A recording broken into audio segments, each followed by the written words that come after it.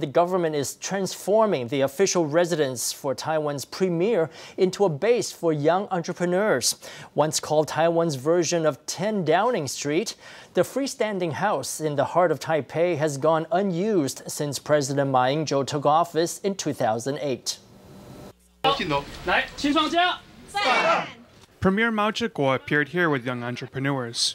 This building on Taipei's Jinhua Street is the official residence for Taiwan's premier, though every premier since 2008 has declined to use it. The government therefore decided to turn it into a youth entrepreneurial base. I look forward to it serving as a business venture platform. It's great when people eager to invest capital and entrepreneurs seeking capital are able to come together. A van that offers mobile consulting services will soon travel Taiwan. The government is considering using additional public spaces to create more entrepreneurial bases for young people. Whether